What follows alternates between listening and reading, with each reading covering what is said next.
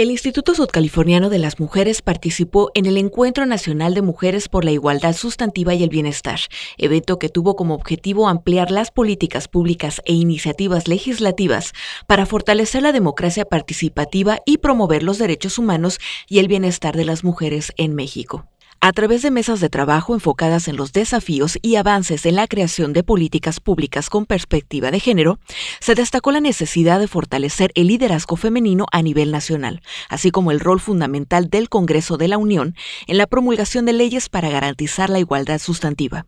Durante la participación, Berenice Cerrato Flores, titular del Instituto Sudcaliforniano de las Mujeres, señaló que el bienestar de las mujeres es el reflejo de una sociedad que valora el potencial y la voz de sus integrantes,